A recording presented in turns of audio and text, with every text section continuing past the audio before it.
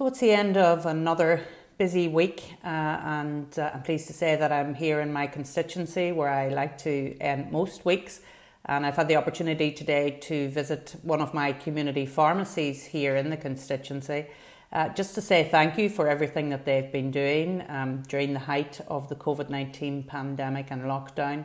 Uh, they provided much needed help, guidance, and support to so many people and they continue to do that actually. And I just wanted to say thank you to them, and hopefully they will pass it on to their colleagues right across Northern Ireland.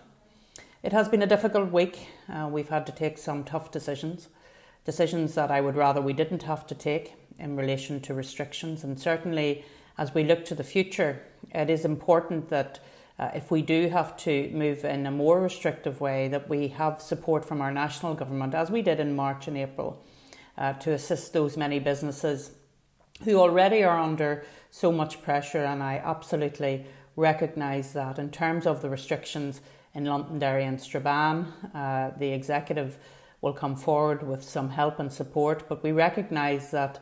Uh, in order to do anything more um, restrictive right across Northern Ireland, we would need the help and support of our national government, and we will continue to be in close contact with Westminster over the coming days. I did have the opportunity as well to visit Ballymoney uh, with my colleague Mervyn Storey to open uh, a new uh, company premises in the centre of the town. So it's great to see 50 people working in the heart of Ballymoney. Uh, and uh, really good as well to visit with Mervyn, a social enterprise charity uh, called CAN, who work with those with learning disabilities uh, met with Mark and many others there, and uh, it was lovely to see them and to see their enthusiasm and uh, what they're doing uh, in Ballymoney.